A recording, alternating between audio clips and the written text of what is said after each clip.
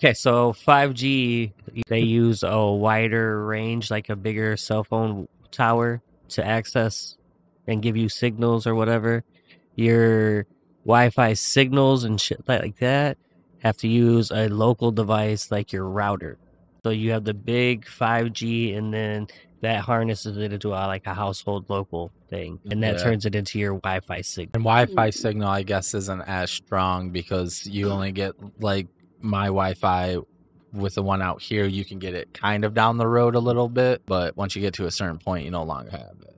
So imagine you're in the X Men, and a mutant power would be uh, manipulating and controlling like radio signals, cell signals, and uh, Wi-Fi signals. But you could like control them like in a way. How do we make that like realistic? Dude, like you like- control it in people's devices, or you could just control how it. Or could you waves. actually like bring it into like a physical form and then use it as a weapon?